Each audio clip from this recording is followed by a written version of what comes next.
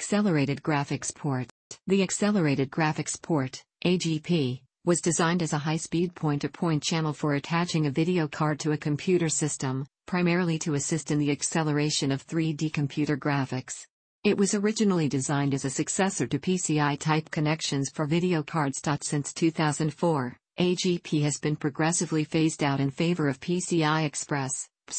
By mid-2008, PCI Express cards dominated the market and only a few AGP models were available with GPU manufacturers and add-in board partners eventually dropping support for the interface in favor of PCI Express. As computers increasingly became graphically oriented, successive generations of graphics adapters began to push the limits of PCI, a bus with shared bandwidth. This led to the development of AGP, a bus dedicated to graphics adapters. AGP is heavily based on PCI, and in fact the AGP bus is a superset of the conventional PCI bus, and AGP cards must act as PCI cards.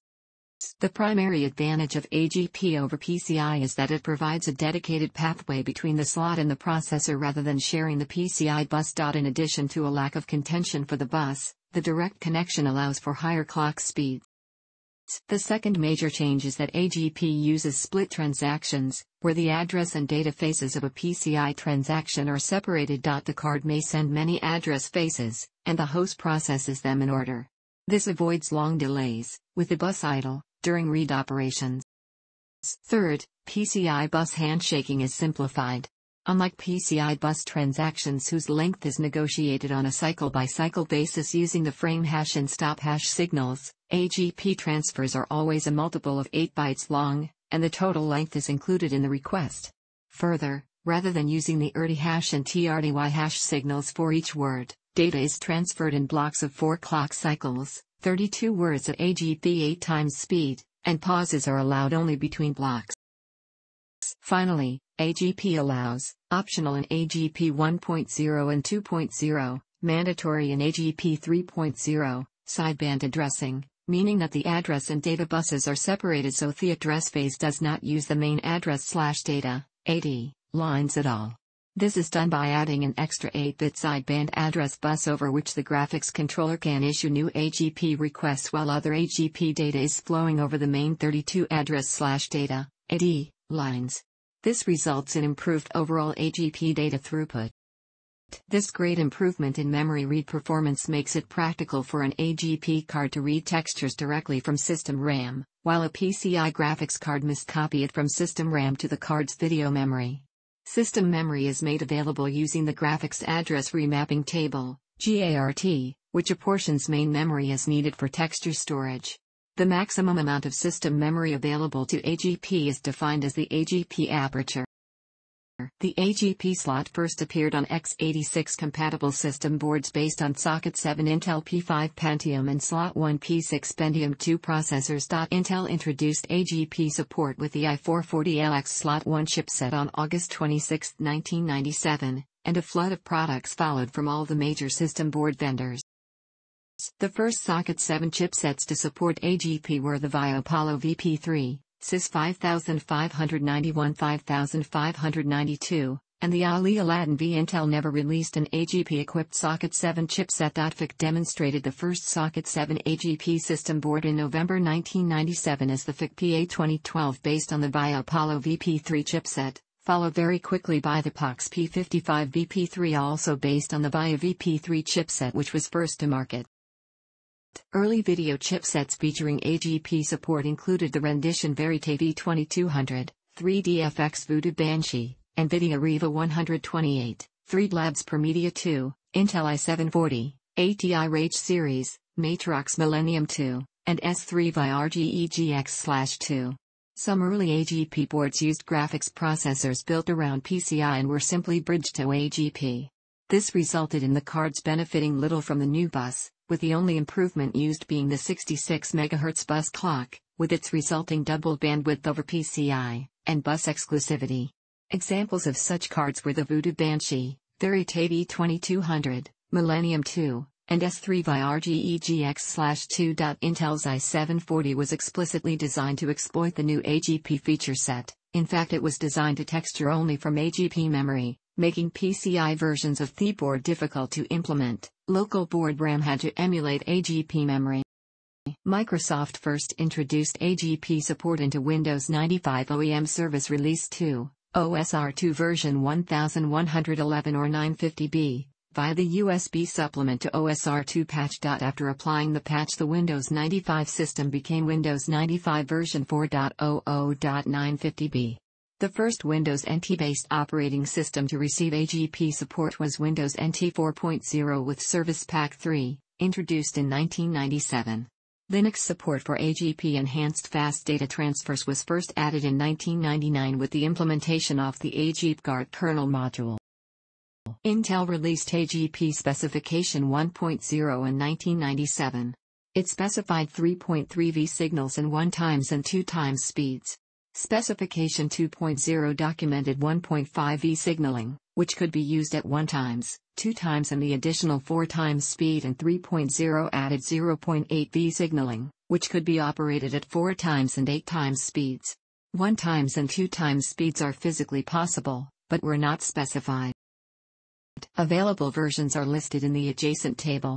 AGP version 3.5 is only publicly mentioned by Microsoft under Universal Accelerated Graphics Port, UAGP, which specifies mandatory supports of extra registers once marked optional under AGP 3.0.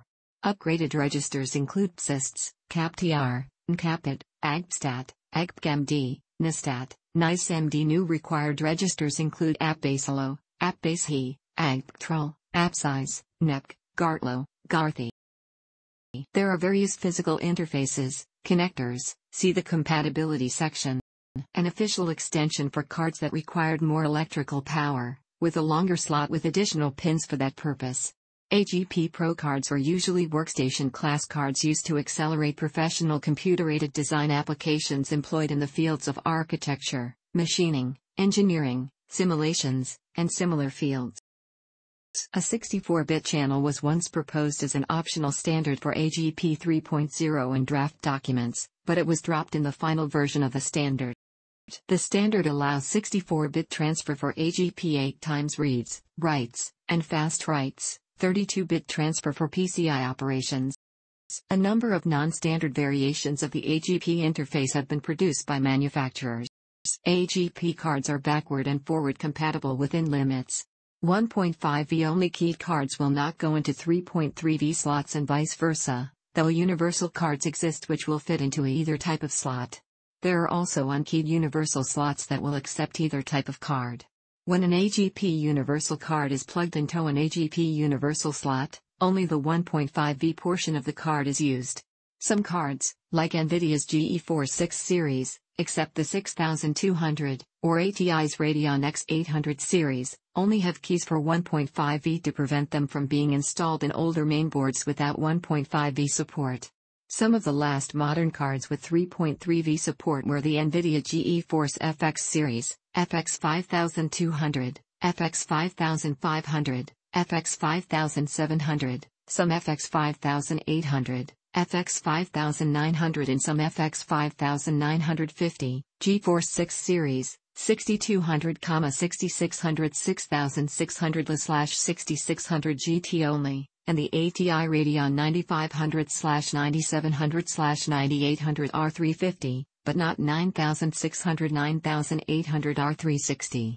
Some GeForce 6200 and GeForce 6600 cards will function with AGP 1.0. 3.3b slots.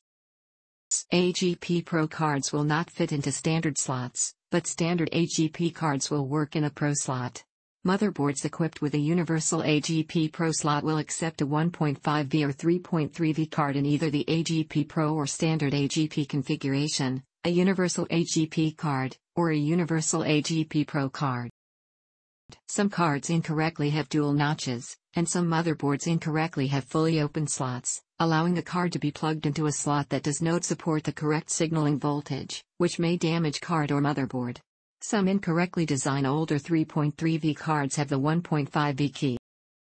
There are some proprietary systems incompatible with standard AGP, for example, Apple Power Macintosh computers with the Apple Display Connector, ADC have an extra connector which delivers power to the attached display. Some cards designed to work with a specific CPU architecture, for example, PC, Apple, may not work with others due to firmware issues. Mark Allen of Playtools.com made the following comments regarding practical AGP compatibility for AGP 3.0 and AGP 2.0. Nobody makes AGP 3.0 cards, and nobody makes AGP 3.0 motherboards. At least not any manufacturers I can find. Every single video card I could find which claimed to be an AGP 3.0 card was actually a Universa 1.5 volts AGP 3.0 card. And every motherboard which claimed to be an AGP 3.0 motherboard turned out to be a Universa 1.5 volts AGP 3.0 motherboard.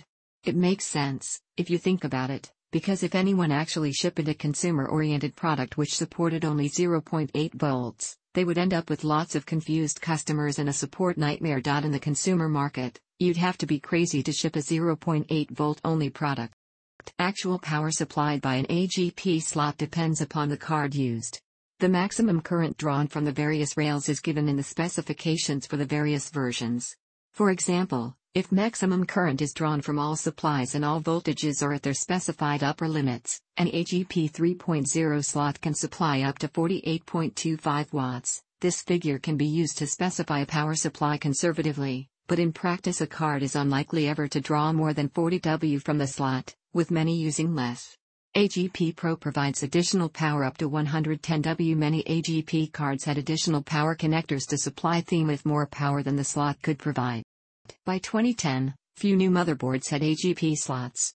No new motherboard chipsets were equipped with AGP support, but motherboards continued to be produced with older chipsets with support for AGP.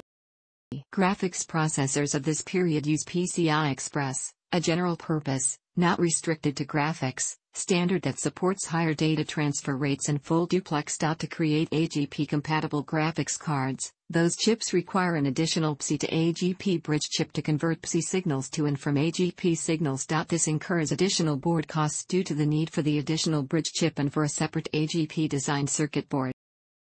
Various manufacturers of graphics cards continue to produce AGP cards for the shrinking AGP user base.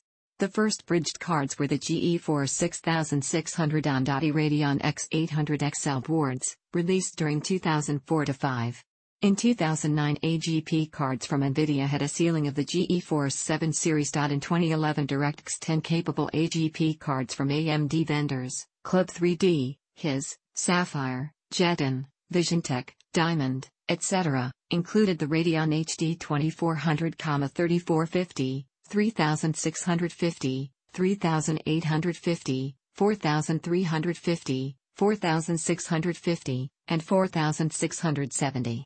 The HD 5000 AGP series mentioned in the Catalyst software was never available. There were many problems with the AMD Catalyst 11.2 to 11.6 AGP hotfix drivers under Windows 7 with the HD 4000 series AGP video cards. Use of 10.12 or 11.1 AGP hotfix drivers is the recommended workaround. Several of the vendors listed above make available past versions of the AGP drivers. An AGP bus is a superset of a 66 MHz conventional PCI bus and, immediately after reset, follows the same protocol. The card must act as a PCI target, and optionally may act as a PCI master. AGP 2.0 added a fast writes extension which allows PCI writes from the motherboard to the card to transfer data at higher speed. After the card is initialized using PCI transactions, AGP transactions are permitted. For these, the card is always the AGP master and the motherboard is always the AGP target. The card queues multiple requests which correspond to the PCI address phase, and the motherboard schedules the corresponding data phase later. An important part of initialization is telling the card the maximum number of outstanding AGP requests which may be queued at a given time. AGP requests are similar to PCI memory read and write requests, but use a different encoding on command line C/B3 0, and are always 8-byte aligned. Their starting address and length are always multiples of 8 bytes, 64 bits.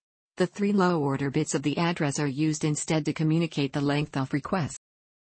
Whenever the PCI GNT hash signal is asserted, granting the bus to the card, Three additional status bits ST2 0 indicate the type of transfer to be performed next. If the bits are codice A underscore 1, a previously queued AGP transaction's data is to be transferred. If the three bits are codice underscore 2, the card may begin a PCI transactioner. If sideband addressing is not in use, queue a request in band using pipehash.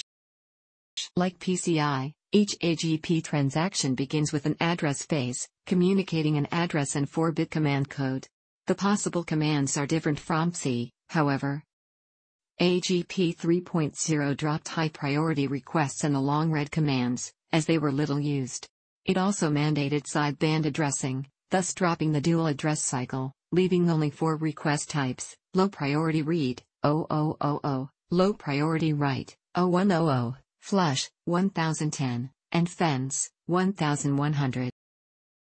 To queue a request in band, the card must request the bus using the standard PCI REQ hash signal, and receive GNT hash plus bus status ST2 colon 0, equal to codice underscore 2. dot Then, instead of asserting frame hash to begin a PCI transaction, the card asserts the pipe hash signal while driving the AGP command, address, and length on the C slash B3 colon 0, AD, 31 to 3, and AD, 2 colon 0, lines, respectively. If the address is 64 bits, a dual address cycle similar to PCI is used. For every cycle that pipe hash is asserted, the card sends another request without waiting for acknowledgement from the motherboard, up to the configured maximum queue depth. The last cycle is marked by deasserting REQ hash, and pipe hash is deasserted on the following idle cycle. If sideband addressing is supported and configured, the pipe hash signal is not used. And the signal is reused for another purpose in the AGP 3.0 protocol, which requires sideband addressing. Instead, requests are broken into 16-bit pieces which are sent as 2 bytes across the SBA bus. There is no need for the card to ask permission from the motherboard. A new request may be sent at any time as long as the number of outstanding requests is within the configured maximum queue depth. The possible values are Sideband address bytes are sent at the same rate as data transfers, up to 8 times the 66 MHz basic bus clock. Sideband addressing has the advantage that it mostly eliminates the need for turnaround cycles on the AD bus between transfers, in the usual case when read operations greatly outnumber writes. While asserting GNT hash, the motherboard may instead indicate via the ST bits that a data phase for a queued request will be performed next. There are four queues, two priorities, low and high priority, for each of reads and writes, and each is processed in order. Obviously, the motherboard will attempt to complete high priority requests first, but there is no limit on the number of low priority responses which may be delivered while the high priority request is processed. For each cycle when the GNT hash is asserted and the status bits have the value code say underscore 13, a read response of the indicated priority is scheduled to be returned. At the next available opportunity, typically the next clock cycle, the motherboard will assert TRDY hash, target ready, and begin transferring the response to the oldest request in the indicated read queue. Other PCI bus signals like frame hash, DEVSEL hash and ERDI hash remain deasserted, up to 4 clock cycles worth of data, 16 bytes at AGP 1 times or 128 bytes at AGP 8 times, are transferred without waiting for acknowledgement from the card. If the response is longer than that, both the card and motherboard must indicate their ability to continue on the third cycle by asserting ERDI hash, initiator ready and TRDY hash, respectively. If either one does not, wait states will be inserted until two cycles after they both do. The value of ERDI hash and TRDY hash at other times is irrelevant and they are usually deasserted. The Z slash B hash byte enable lines may be ignored during read responses, but are held asserted, all bytes valid, by the motherboard. The card may also assert the RBF hash, read buffer full, signal to indicate that it is temporarily unable to receive more low priority read responses. The motherboard will refrain from scheduling any more low priority read responses. The card must still be able to receive the end of the current response, and the first four cycle block of the following one if scheduled plus any high priority responses it has requested. For each cycle when GNT hash is asserted and the status bits have the value codice underscore 14, write data is scheduled to be sent across the bus. dot At the next available opportunity, typically the next clock cycle, the card will assert ERDI hash, initiator ready, and begin transferring the data portion of the oldest request in the indicated write queue. If the data is longer than 4 clock cycles, the motherboard will indicate its ability to continue by asserting TRDY hash one third cycle. Unlike reads, there is no provision for the card to delay the write. If it didn't have the data ready to send, it shouldn't have queued the request.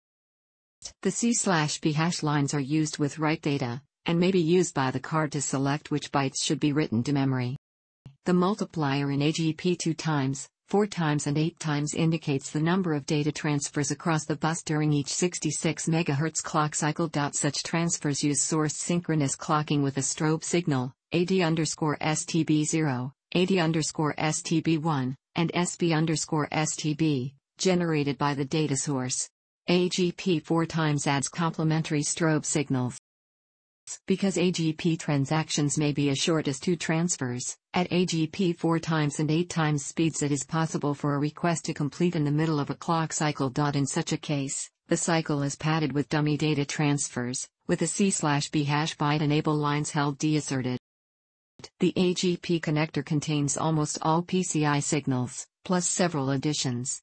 The connector has 66 contacts on each side, although 4 are removed for each keying notch. Pin 1 is closest to the I.O. bracket, and the B and A sides are as in the table, looking down at the motherboard connector. Contacts are spaced at 1 mm intervals, however they are arranged in two staggered vertical rows so that there is 2 mm space between pins in each row. Odd numbered A-side contacts, and even numbered B-side contacts are in the lower row, 1.0 to 3.5 mm from the card edge. The others are in the upper row, 3.7 to 6.0 mm from the card edge. PCI signals emitted are. Signals added are. Thanks for watching.